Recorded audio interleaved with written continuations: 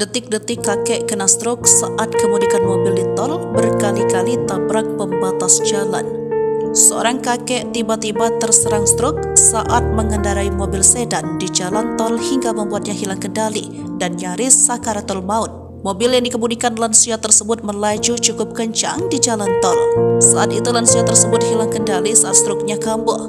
Momen itu diunggah oleh salah satu akun TikTok pada Minggu 3 September 2023. Pada awal video terlihat sedan abu-abu tersebut akan masuk ke jalan tol.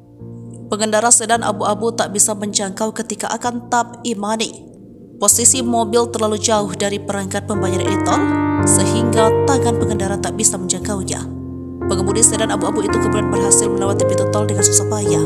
Saat melaju di jalan tol, sedan abu-abu tersebut berpindah-pindah jalur. Bahkan sempat terlihat nyaris ditabrak mobil dari belakang ketika berpindah ke jalur paling kanan. Kemudian sedan abu-abu tersebut nyaris menabrak dinding pembatas jalan di sisi kanan. Pemilik akun TikTok tersebut lalu memutuskan untuk menghentikan laju sedan abu-abu tersebut. Betapa terkejutnya, pengendara sedan abu-abu itu ternyata adalah seorang kakek-kakek. Kakek-kakek berbaju batik tersebut diduga sedang sakit stroke. Pasalnya tubuh kakek-kakek itu terlihat seperti sulit digerakkan.